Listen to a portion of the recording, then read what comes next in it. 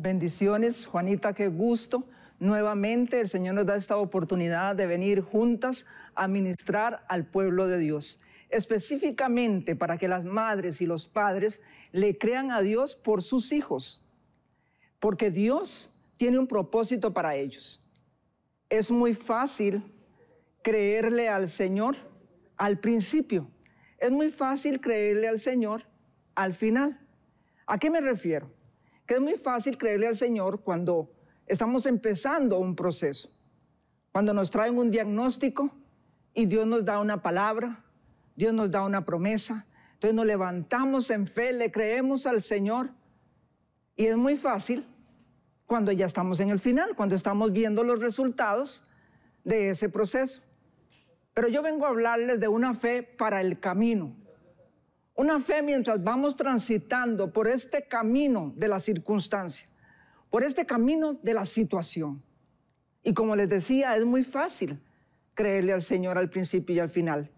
Pero yo vengo a hablarles de esa fe que nos acompaña mientras que nosotros estamos esperando por el actuar de Dios, por el proceder de Dios en nuestras vidas y específicamente quiero hablarte por el proceder de Dios en tus hijos, por el proceder de Dios en ese hijo que tal vez estás viendo en una situación que jamás te imaginaste, o esa hija que estás viendo en una situación donde jamás soñaste haberla visto. Cuando uno está en el camino, la fe tiende a disminuir, pero hay que fortalecerla, hay que animarse, no hay que desistir hay una historia de un niño que siempre iba a visitar a sus abuelos y para visitar a sus abuelos él iba en tren. Él crece y apenas se siente así como un poquito este, más grande, le dice a su padre que quiere ir solo a ver a sus abuelos. El papá le dice que está bien, lo deja que se aliste y cuando ya lo va a dejar al tren, agarra una nota y se la mete en la bolsa de la camisa y le dice al muchachito, cuando tengas miedo, saca la nota y la lees. El tren arranca, van de camino y el muchachito empieza a tener miedo porque iba solo, él estaba acostumbrado a ir con sus padres, a visitar a sus abuelos. Y en eso que le da miedo, él se acuerda de las palabras de su padre y saca la nota de la bolsa de su camisa y lo que el papá le había escrito es, no tengas miedo, hijo, yo voy en el mismo tren. Y eso vengo a decirte. No tengas miedo por la situación que estás viendo de tu hija. No tengas miedo por la situación que estás viendo de tu hijo. Dios está contigo. Dios está con ellos. Dios no los ha dejado. Dios no los ha abandonado ni los va a abandonar. Porque Él prometió estar con nosotros todos los días de nuestra vida hasta el final. Y yo he visto a Dios caminar conmigo. He visto a Dios susurrar a mi oído. Tere, no estás sola. Yo aquí estoy contigo. No desistas. No desistas. A veces aparece una circunstancia, una situación, y uno tiende a arrugarse, digo yo. Tiende a desinflarse. Pero el Espíritu Santo es tan lindo, el Espíritu Santo es tan bueno, que Él no nos deja ni nos abandona. Y viene a susurrarnos a nuestro oído para que nos levantemos y recordemos que Dios está en el mismo tren, que Dios está con nosotros y va caminando con nosotros. O quiero referirme a Moisés. Hay muchos ejemplos en la Biblia de hombres y mujeres que tuvieron una fe para el camino. Un Abraham que recibió una promesa y no la veía y pasaron años, pero él tuvo fe para el camino.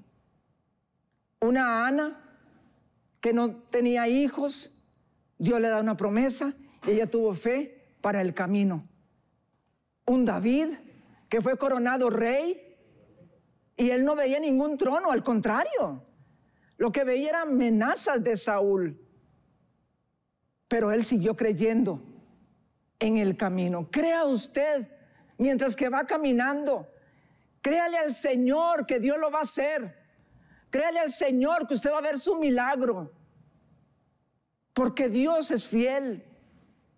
Y Él lo prometió y Él lo hará. Tal vez la circunstancia que estás viviendo es una circunstancia muy fuerte. Es una circunstancia que tal vez dices, no tengo fuerza para esto. Pídale las fuerzas al Señor. Dígale al Señor que le dé esas fuerzas del búfalo. Que le levante, que levante su cabeza. Que traiga su memoria las promesas de la palabra. Las promesas de Dios son en el sí y amén. Y que a mí nadie me venga a decir que Dios no cumple. Dios siempre cumple. Él siempre está presente. Él siempre está a nuestro lado. Como les decía, quiero referirme a Moisés. En Éxodo 6, del 5 al 8, leemos una porción de esta historia que es la salida del pueblo de Israel de Egipto. Pero en este verso 5, Dios le habla a Moisés y le dice, he oído además el gemir de los israelitas, a quienes los egipcios han esclavizado, y he recordado mi pacto. Así que ve y dile a los israelitas, yo soy el Señor y voy a quitarles de encima la opresión de los egipcios. Voy a liberarlos de su esclavitud. Voy a liberarlos con gran despliegue de poder y con grandes actos de justicia. Les dice cómo lo va a hacer. Les dice que los va a liberar con gran despliegue de poder y con grandes actos de justicia. No los mandó sin una palabra. Dios tenía una palabra para ellos y Dios tiene una palabra para tu vida. Dios tiene una palabra para tus hijos hoy. Tiene una palabra para tu hija hoy. Pero usted tiene que arrebatarla. Usted tiene que creerla. Tiene que confiar en el Señor. Sigue diciendo el verso 7, haré de ustedes mi pueblo y yo seré su Dios. Así sabrán que yo soy el Señor su Dios que los libro de la opresión de los egipcios. Qué promesa. Liberación, y eso es lo que oigo yo en el Espíritu. Liberación para tu hijo, liberación para tu hija, en la circunstancia en que se esté encontrando en este momento, ahí en México, en Colombia, en Estados Unidos. Corra ahora mismo al WhatsApp 14697811000 y comuníquese con nosotros. Traiga su hijo al altar. Traiga a su hija al altar. Créale al Señor. Levántese. Tenga fe para el camino. Tenga fe para ver a Dios actuar. El verso 8 dice, los llevaré a la tierra que bajo juramento prometí darles. A Abraham, a Isaac y a Jacob nada más y nada menos. Yo el Señor les daré a ustedes posesión de ella. Aquí les dice para qué. Primero les dice cómo y después les dice para qué. Por supuesto, Dios no le dice al pueblo de Israel ni a Moisés lo que iban a pasar en el camino. Pero Dios iba a estar con ellos. Si Dios nos mostrara lo que vamos a vivir en el camino, quizá no nos, no nos levantaríamos a caminar, no nos pondríamos en camino, no nos moveríamos, nos asustaríamos. Pero Dios en su amor y su misericordia nos promete un final feliz, porque Él es el Dios que conoce el fin desde el principio. Cuando las cosas llevan más tiempo del que esperamos, tendemos a desistir. Pero yo estoy aquí para decirte, no desistas, no claudiques, avanza con tu fe hasta ver la promesa que Dios te ha dado para tus hijos. Cuando yo recibí el diagnóstico, también recibí la promesa. Eres sana por la llaga del cordero. Sin embargo, empezaron a venir cosas, situaciones en mi vida. Yo empecé a caminar y se vinieron esos egipcios detrás de mí.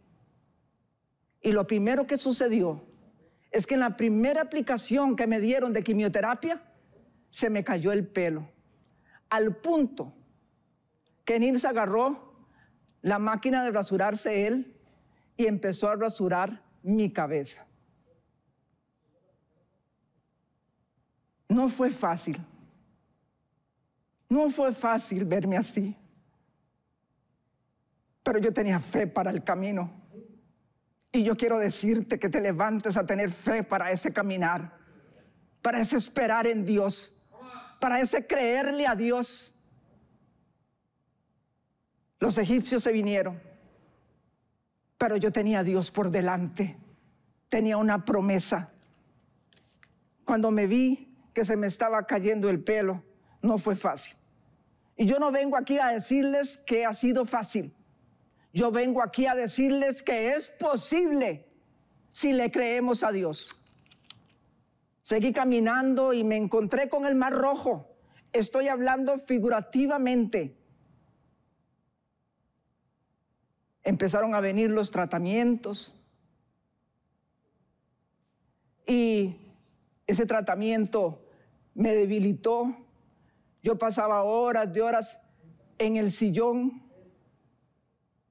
con frío, orando, metida con el Señor, escuchando enlace, escuchando a Cash Luna, leyendo el libro,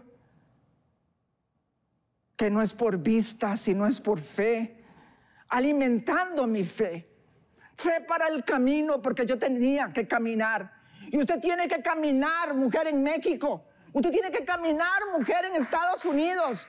Usted tiene que caminar, hombre, ahí, en Colombia. Y no detenerse. No se detenga por los egipcios. No se detenga por el Mar Rojo. No se detenga por el Jordán. No se detenga por los gigantes. Créale al Señor y tenga una fe para el camino. Vamos a adorar al Señor y regresamos para animarte. Vaya al WhatsApp 1-469-781-1000 y tráiganos el nombre de su hija. Yo quiero el nombre de su hija. Yo quiero el nombre de su hijo aquí en el altar. Vamos a estar orando y yo voy a creer al Señor que ellos van a llegar a un fin feliz en el nombre de Jesús. Adoremos al Señor.